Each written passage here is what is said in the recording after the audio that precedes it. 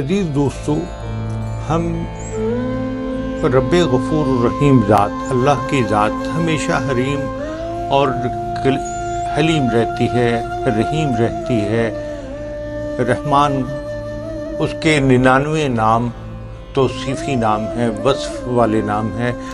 हर नाम उसका अता वाला नाम है। इंसान को उसके अंदर देने का ही फ़लसफ़ा मिलता है और हम उन नामों की नस्बत से खुदाए बुज़ुर्ग, बरतर की ज़ात में हम अपनी आजती पेश करें। या कादी अलहाजात या काफ़ी अलमहिमात या शाफ़ अलमराज या राफ़ दराजात, ये सारी मनाजात अपने रब के सामने रखें। तो अज़ीज़ दोस्तों, जब बारात लिखी जा रही हो तो खुदाए बुज़ुर्ग, बरतर की ज़ात अपने फ़रिश्तों से उन फरिश्तों से जो तकसीम में लगे होते हैं और जो लिखने में लगे होते हैं, वो उसके अंदर खुदाए बुज़ुर्ग बरतर की जो गोशा उल्फत इंसान के लिए उठता है, वो सारी नरमियाँ उसमें मिल जाती हैं।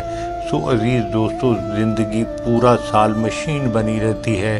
कुछ लम्हात इबादत के लिए ये तीन चार गिनती के इनमें अपने आप को खुदा के स्पुर्द करके उसकी सारी खुदाई को आप अपने नाम लगवा सकते हैं, उस पर आप पर कर्म हो सकता है।